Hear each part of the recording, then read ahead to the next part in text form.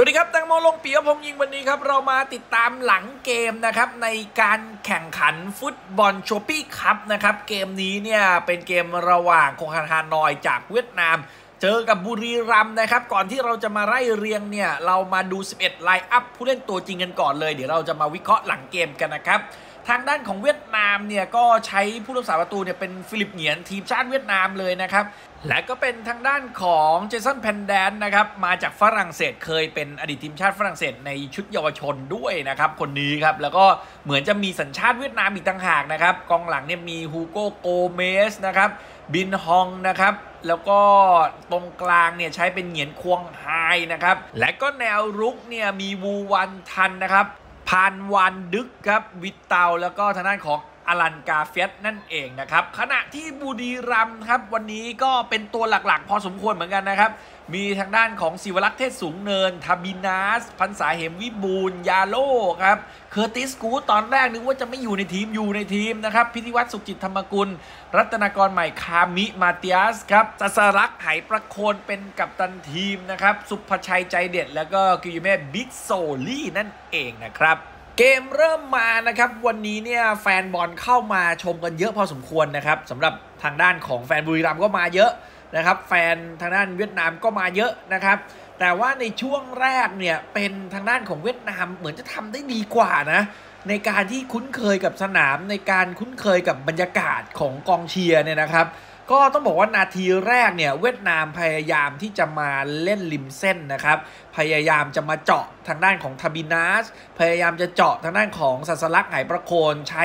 ตัวผู้เล่นหลักๆ ของเขาอะริมเส้นทั้งซ้ายทั้งขวานะครับไม่ว่าจะเป็นทางด้านของวูวานทันนะครับหรือว่าพันวันดึกนะครับก็เป็นทีมชาติเวียดนามทั้งคู่นะฮะใช้กระชากลากเลื้อย อาศัยความเร็วนะฮะแล้วก็ตัดใน เข้ามาแล้วพยายามจะทำประตูให้ได้ คือเขาลองอย่างเงี้ยอยู่สักพักหนึ่งนะครับ แล้วก็มีโอกาสนะครับจากฟันวันดุ๊กนะฮะที่ได้บ่งแต่ว่าบอลเนี่ยมันไม่ตรงกรอบในช่วงนาทีแรกก็ดูแล้ว เฮ้ย มันก็ไม่ได้ง่ายนะ คือหลายๆ คนบอกโอ้ยเจอแค่เวียดนามคงอันอานอยสบายบุรีรัมทีมเราเก่ง มันไม่ใช่อย่างนั้นนะครับ ทุกคนนะคือเขาก็มีเท้าเหมือนกันนะครับเขาก็เล่นได้นะ แล้วดูแล้วเนี่ยในการต่อบอลเออลำเลียงบอลดูจะดีด้วยซ้ำนะครับ ดูมีระบบนะครับ ภายใต้การคุมทีมของมาโน่โพกิ้งแล้วที่สำคัญเล่นมา 3 นาทีครับเขานำบุรีรัมเฉยเลย อันนี้ช็อกจริงนะครับ คือจังหวะที่ทางฟันบันดึกเนี่ยได้ยิง แต่ศิวรักษ์เนี่ยเหมือน บอลมันจะไปถูกบังแล้วบอลมันไซก้อยนิดนึงนะครับ กลายเป็นว่ารับมือแตกครับศิวลักษ์มือแตกโดนเวียดนามยิงตั้งแต่ 3 นาทีแรกครับโอ้โห ผมบอกได้เลยว่าลูกนี้ไม่น่าเข้า แต่ในเมื่อมันเข้าไปแล้วก็ต้องตามนั้นนะครับ ซึ่งพอเล่นไปเล่นมาบอลของบุรีรัมย์มาต่อเกมไม่ได้ เพราะว่าตรงกลางเนี่ยในช่วงแรกนะ 20 นาทีแรกเนี่ยวาากาส มาติอัสเนี่ยนะครับพิธีวัตรจะเป็นคนเดียวที่คอยขับเคลื่อนในแดนแดนกลางนะครับ พยายามที่จะหมุนบอลขึ้นบนมาเชื่อมเกม แต่ว่ารัตนากรกับวากาสดูแล้วบทบาทจะยังน้อยทำให้สุภชัยกับบิโซลี่20 นาทีแรกเนี่ยเห็นน้อยมาก จะเห็นก็ช่วงนาทีที่ประมาณสัก 16-17 เนี่ยครับ ได้ขึ้นมาทางด้านขวา แล้วสับไกลลองยิงดูนะครับ ไอ้จังหวะนั้นเนี่ยก็ได้ลุ้นพอสมควรนะ แต่ว่ามุมมันไม่มีนะครับ พอมุมมันไม่มีเนี่ยมันก็ลุ้นยากนะครับ ถึงแม้ว่าผู้รักษาประตูจะได้เซฟ ได้เสียวก็ตาม แต่ต้องยอมรับว่าเป็นรองก่อนในช่วงต้นเกมนะครับสำหรับบุรีรัมย์หลังจากนั้นมานะครับที่บุรีรัมย์เนี่ยโดนนำไปสักพักหนึ่งแล้วเนี่ยนะครับเกมของบุรีรัมย์ค่อย ๆ ดีขึ้นเรื่อย ๆ นะครับ พยายามที่จะเซตเกมตั้งเกมนะครับ แล้วก็ ทางผู้เล่นของเวียดนามเนี่ยกงอันฮานอยแกไปแพ็ครับแน่นเอียดไปหมดเลยนะครับในแผงหลังเนี่ยเรียกได้ว่ารับในแดนเลยนะครับขณะที่บุรีรัมย์พยายามจะเซตบอลนะครับจากแนวรับเนี่ยพันษาเหมวิบูลเคอร์ติสกู๊ดยาโลนะครับคือเซตไปเซตมาแต่มันหาช่องไม่ได้ ก็เลยต้องฝากตรงกลางแล้วออกด้านริมเส้นมากกว่า แล้วก็เน้น overlap เน้นวิ่งอ้อมแล้วให้ไหลสุดเส้นแล้วเปิด cross เข้ามาก็เห็นพยายามทำแบบนี้นะครับ อย่างจังหวะที่ทาบินาสพยายามเล่นกับพิธิวัตต์ปุ๊บทำชิ่งระเบิลข้าม overlap หลังลายมาเนี่ยนะครับ แล้วพยายามจะเล่นแล้วปาดเข้าใน ตรงนี้เนี่ยต้องบอกว่าบุรีรัมย์พยายามจะสร้างสถานการณ์นะครับ ให้ตัวเองเนี่ยทำประตูได้มีสกอร์แต่บางครั้งเนี่ยมันโดดเดี่ยวเหลือเกินครับบิสโซลี่ สุภชัยใจเด็ดพยายามที่จะมีส่วนร่วมกับเกมให้มากยิ่งขึ้น แต่ก็บทบาทค่อนข้างที่จะยังน้อยอยู่เหมือนกันนะครับ และจังหวะเนี่ยเหมือนมันปลาคนละน้ำครับ วากาสมาติอัสเนี่ยพยายามจะร่วมเล่นกับสุภชัย พยายามจะเล่นกับบิสโซลี่มันไม่ประสานเป็นเนื้อเดียวกันเลย มันค่อนข้างไปคนละทิศคนละทาง ผมว่าตรงกลางสนามต้องมีการเปลี่ยนแปลงนะครับ แต่ว่าพิธิวัตต์เนี่ยเป็นแกนหลักที่คอยจะเชื่อมทุกคนประสานทุกคนแนวรับไปกองกลางมาแนวหน้านะครับ เพียงแต่ว่าตอนนี้เนี่ย midfield ในการขับเคลื่อนตรงนี้มันน้อยไป แล้วไม่ว่าจะเป็นทาบินาสหรือสัสลักไหประโคนเนี่ย ก็ยังมีส่วนร่วมกับเกมค่อนข้างน้อยถึงแม้ว่าจะอยู่ด้านข้างได้แค่จ่ายตัดริมเส้นจ่ายโอเวอร์แลปจ่ายแฟกอะไรอย่างเงี้ยนะครับ ซึ่งซึ่งมันน่าจะมีมิติที่มันมากกว่านั้น และเพิ่มเติมมากกว่านั้นในช่วงครึ่งแรกนะครับ ซึ่งก็ต้องบอกว่าทางเวียดนามเนี่ยมีโอกาสได้สวน พอสมควรเหมือนกันนะครับจังหวะได้สวนเนี่ยทำกันได้ดีเหงียนควงไฮทำชิ่งกันมานะครับไม่ว่าจะเป็นอารันกาเฟสนะฮะหรือว่าทางด้านของวิวตอก็ก็ทำได้ดีแต่ว่า ยังไม่ได้มีคุณภาพขนาดที่ว่าเบ็ดเสร็จเด็ดขาดที่จะมาจบลูกที่ 2 ได้นะครับ เพราะฉะนั้นแล้วครึ่งแรกมันก็ยังอยู่แค่ 1-0 แต่ว่าเป็นเกมที่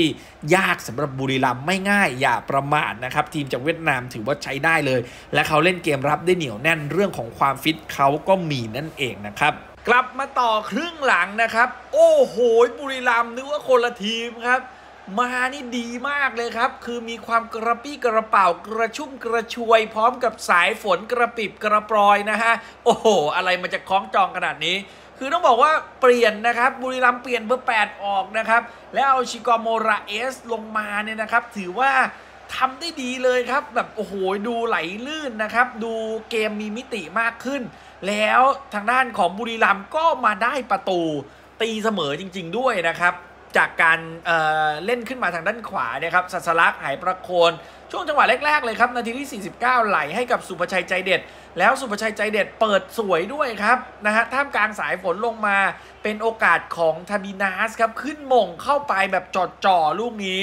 สบายสบายเลยครับ เรียกได้ว่าหวานเจี๊ยบครับบุรีรัมแล้วเกมดีขึ้นแบบผิดหูผิดตาเลยครับ หลายต่อหลายจังหวะเนี่ยบุรีรัมสามารถที่จะครองเกมกดดันได้ ถ้าเป็นแบบนี้เนี่ยถือว่ายอดเยี่ยมเลยนะฮะแล้วก็มีจังหวะหลุดมาของมาติอัสวากาสเนี่ยช่วงนาทีที่ 53เนี่ยนะครับแล้วก็ไหลให้กับบิสโซลี่บิสโซลี่อุตส่าห์ใจดีแล้วนะฮะให้กับทางด้านของชิกโมราเอสล็อกหลบมาแล้วโอ้โห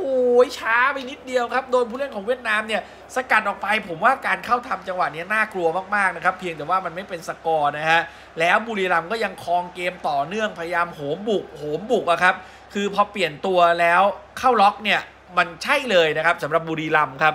และก็มีจังหวะนาทีที่ 55 ด้วยนะครับ ตรงนี้ไม่พูดถึงไม่ได้เลยนะครับ โอ้โหบิโซลี่ โอ้ ลูกนี้แกจับบอลแล้วตวัดยิงเปี้ยง โอ้ยบอลชนเสาครับ ลูกเนี้ยน่าเข้ามาก คือแบบสวยจัดเลยนะครับถูระดับคุณภาพครับแก้ว 5 ดาวนะครับ แนะนำโดยเดียโก้หรือซานโตนะครับ โอ้โห นี่ของแท้จริง ๆ ครับ ลูกนี้นี่อยากให้เข้าเลยสวยมากจริงนะครับเกียเม่บิโซลี่ครับแต่เกมเนี่ยกลับมาเป็นทางด้านของกงฮานานอยนะครับ นาทีที่ 67 แล้วครับ โอ้โห เจอครับวิตาเนี่ยเปิดมาให้กับ อารันครับมงเข้าไปครับโอ้โหลูกนี้ช็อกบุรีรัมเหมือนกันนะครับโอ้ยแล้วสิวรักษ์เนี่ยบอลมันย้อนหน่อยเดียวครับ แล้วเซฟไม่ได้เนี่ยแม่ลูกนี้รับไปเต็มๆอีกดอกนึงเหมือนกันนะครับ ลูกแรกก็รับไปเต็มๆลูกนี้ก็รับไปเต็มๆเหมือนกันนะครับโอ้โหตอนนี้นี่ต้องบอกว่างานเข้าบุรีรัมเลยครับ เจอแบบนี้สิวรักษ์นี่ต้องบอกเลยครับว่า โอ้โหเหนื่อยเลยครับเหนื่อยครับ แล้วก็เป็นอันว่าสุดท้ายนะครับบุรีรัมทำทุกอย่างแล้วนะครับ เกมนี้